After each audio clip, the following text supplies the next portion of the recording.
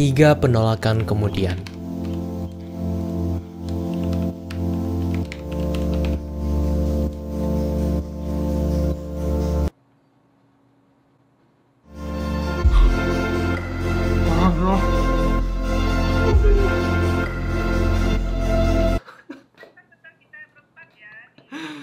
Kenapa bu?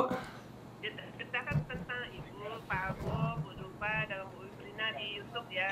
Oke bu. Perhatian, acara penyambutan mahasiswa baru akan segera dimulai.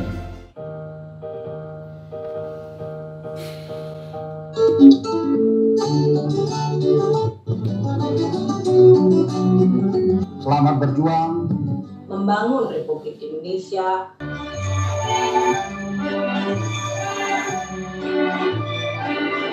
Ini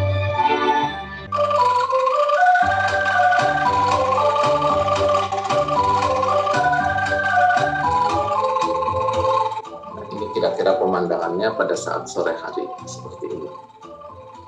Bagaimana meng- mengoperasikan dan memeliharanya. Jadi itu adalah kompetensi utama dari sarjana teknik mesin. saya selalu temui anak-anak muda yang saya sangat berhormat pada mereka. Saya selalu senang sekali bertemu dengan anak-anak muda itu dan saya eh, berharap banyak mereka itu menjadi pewaris masa depan yang bisa membuat bangsa kita menjadi lebih baik. Masuk perguruan tinggi itu bukan karena pintar, karena saya yakin ada anak yang lebih pintar tapi takdirnya tidak diikuti.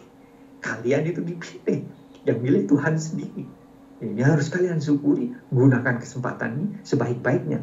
Halo semuanya, hari ini adalah hari ketiga PMB. Sekarang akan ada pelatihan Microsoft Teams. Ini mulainya tuh satu menit lagi, dan biasanya tuh ada live streamingnya di YouTube. Baru aja selesai pengenalan tentang sistem informasi akademik ITB. Sekarang ada nih satu tugas yang kemarin dikasihnya, dan deadline-nya adalah nanti malam. Aku pengen ngerjain.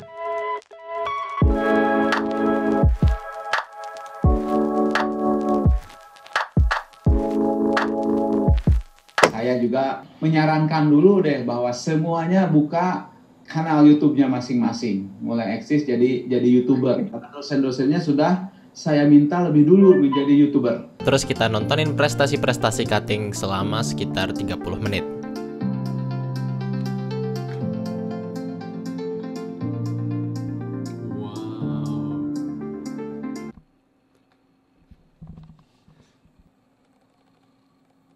Perkenalkan nama saya Kamila Rohmalusiana. Saya punya uh, bisnis properti di bidang properti, pengembangan properti mega blok. Hmm.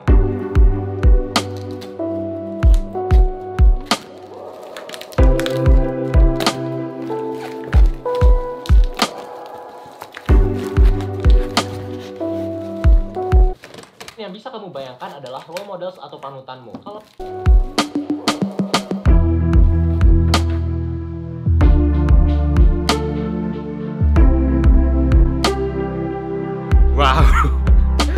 Fisika, kimia, kalkulus, statika, struk, struk, struktur. Ternyata ada juga statics. Statistika, sta, statika, struktur. Kalau yang tiga ini itu dipelajari satu TPB, tapi kalau yang ini khusus fakultas. Oh ya, sekarang juga sambil ngedit video by the way. Kalau mau nonton itu harusnya udah diupload, jadi silahkan klik sebelah sini.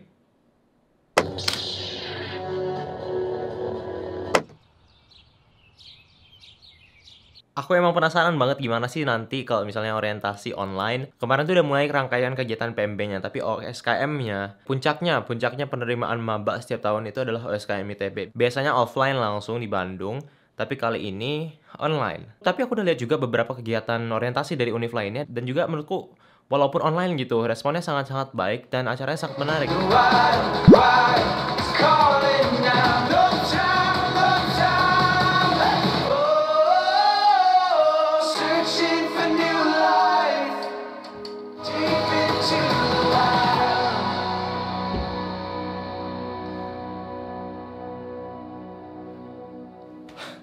Wow.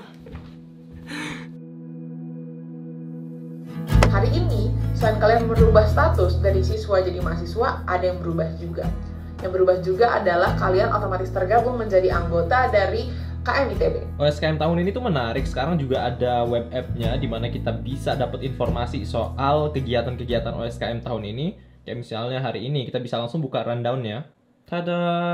Kita sekarang kita baru aja selesai pengenalan KAT ITB 2020. Selanjutnya akan mentoring bersama mentor-mentor.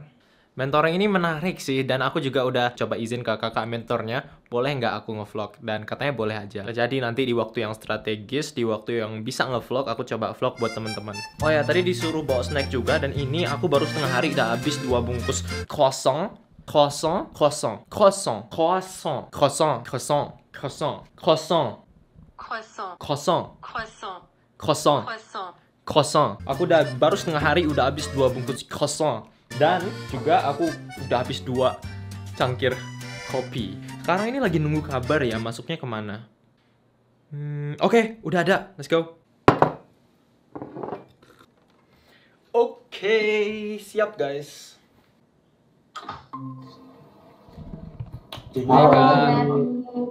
Lalu, kami diberikan materi tentang identitas mahasiswa. Nah, sekarang aku juga lagi persiapin template buat Notion. Halaman Notion buat perkuliahan aku, tapi ini nanti bakal aku bikin juga videonya. Dan rencananya ini bakal aku rilis minggu pertama atau minggu kedua dari bulan Oktober. Ini pengen aku uji coba dulu, karena nanti akan ada sesuatu yang spesial bersama Notion. Dan jadi di aplikasi OSKM ini juga ada semacam kuis yang nanti bisa kita ambil habis sesi. Uh, sekarang udah ada dua kuis yang menunggu dan kerennya di aplikasi ini tuh didesain jadi kayak kita main game. Jadi di sini kan pertama ada info-info penting. Di sini tuh ada tab untuk melihat kita ada quest apa sih, ada tugas apa gitu. Nah ini ada dua quest yang belum aku kerjain. Tadi aku juga ada nyatat sih, tapi ya kita lihat apakah nyatatnya itu masuk atau enggak.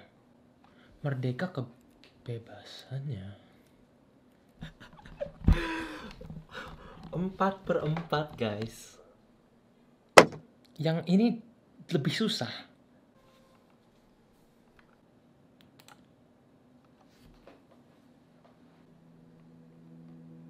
rasa ragu, rasa self doubt itu bisa ditwist seperti kata Ayub, ditwist untuk membuat kita melakukan persiapan yang lebih.